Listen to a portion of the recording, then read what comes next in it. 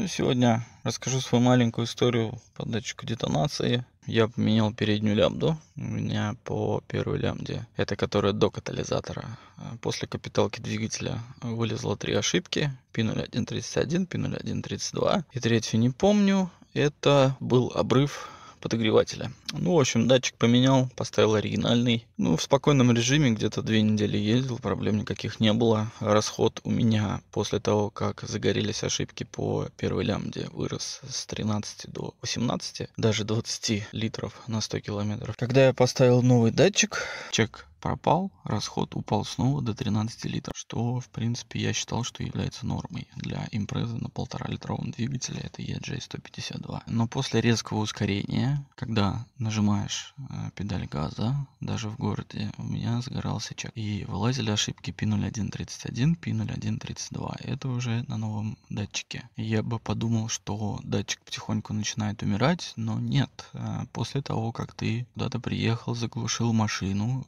чек пропадал. То есть снова заводишь, чека нет. В активных ошибках ничего нету, но в сохраненных вот P0131 и P0132 это высокое напряжение и низкое напряжение. По этим ошибкам, ну, в основном э, все говорят, что эти ошибки свидетельствуют о том, что лямбда помирает. Но нифига, ну не так. Путем проб и ошибок я дошел до датчика детонации. Что происходило с машиной, когда неисправен датчик детонации? Первое – это вибрация. У меня периодически стала появляться вибрация на холостых оборотах. Два-три светофора вибрации есть, один-два светофора, все отлично, просто замечательно, ничего не вибрирует, даже не чувствую, как работает машина. Вибрация в автомобиле была такая, что пассажирское сиденье аж дребезжало. То есть подголовник и само сиденье тряслось. Я долго не мог понять, в чем причина, я и свечи менял, и бронепровода, причем свечи менял несколько раз, думал, может быть, фигню какую-то купил. Потом э, провалы при разгоне.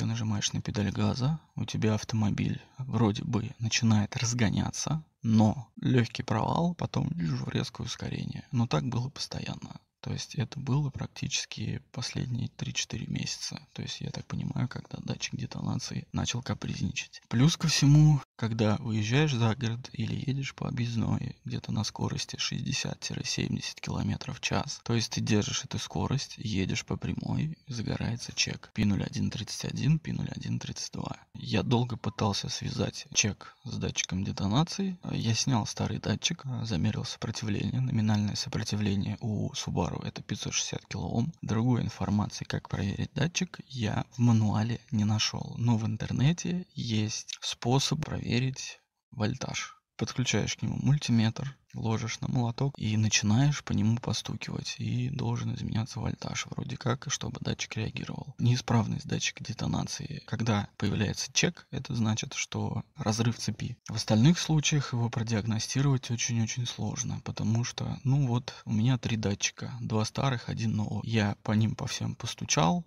все реагируют. Даже подключая сканер к автомобилю, по датчику детонации информации практически никакой не получаешь. Да, он там показывает, что он что-то крутит, что он что-то передает. Но что он передает, черт его знает. Мой датчик, получается, врал. Чека по датчику детонации у меня не было. Прозвонить я его прозвонил. 560 килоом, как положено. Он реагировал на молоток. Ну, значит, он работает. Но датчик детонации может врать. Он может в упор не видеть детонацию, когда она есть а может видеть детонацию там, где ее нет. Я, кстати, стал замечать, что периодически при резком ускорении слышал звуки детонации. Скажем так, когда неправильно горит смесь, когда неправильно установлен угол опережения зажигания. Когда я снимал датчик и ставил его назад, я почистил немножко датчик не из корпуса датчика, где он прилегает к блоку, и немножко алюминиевую часть блока, прям чуть-чуть, и прикрутил датчик на свое место. Момент затяжки датчика детонации 24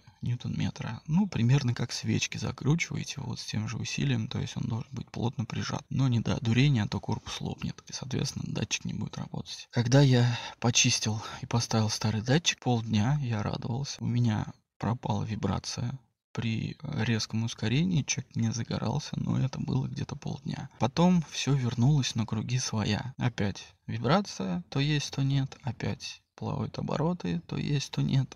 Опять ускоряется непонятно как. Я заказал новый датчик, поставил его, В общем, я проездил уже где-то 2000 километров на новом датчике и вот решил поделиться, скажем так, наблюдениями. Все ушло, машина рвет из-под себя, вибраций нет, плавать обороты перестали. Я выезжал за город, я выезжал на объездную, давал машине люлей, держал те обороты, которые обычно э, способствовали, скажем так, появлению чека P0131, P0132, это по передней лямбде. Как поменял датчик детонации, я искатал 4 бака, и средний расход у меня вышел где-то 10 литров на 100 километров, это в спокойном режиме. Это в режиме близким к а пенсионер. И еще э, старый датчик детонации, который у меня стоял, он был куплен на Алиэкспрессе и отработал 5 лет. Где-то 4,5 года он работал отлично, а потом начали появляться всякие признаки, скажем так, сейчас я знаю, что это признаки неисправности. У меня лежит второй такой же.